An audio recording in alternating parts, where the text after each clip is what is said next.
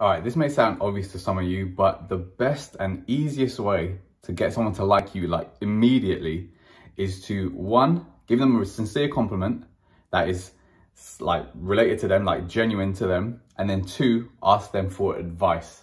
You can use this for absolutely anyone.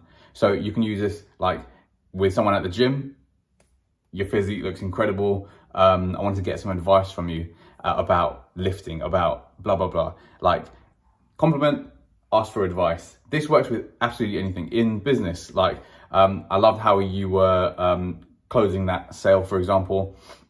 Can I get some advice from you? Can I ask you your script? Can I ask you something that you can help me with?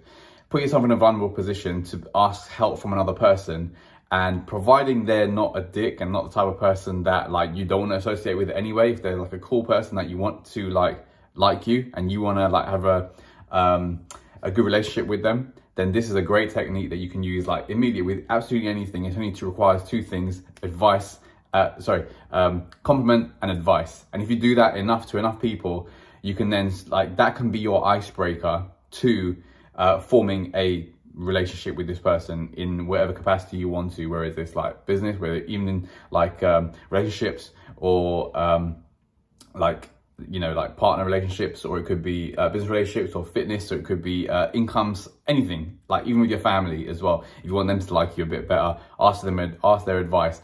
Being being put in that vulnerable position where like you are showing your inadequacy or showing your like vulnerability or showing that you um, value their opinion and that you want advice from them is like the biggest ego stroke you can give to someone and they'll just absolutely love you for it. So it doesn't matter what it is, doesn't matter what situation, just give it a try, see if it works for you. And like, first of all, be genuine. Don't do this like to manipulate, don't aim to manipulate but only do this for the intention of like you want to become more close with that person or friends with that person or like um, get them to like you for some kind of reason. So that's a disclaimer out the way. But yeah, use this sparingly if you are not like super good with this type of stuff.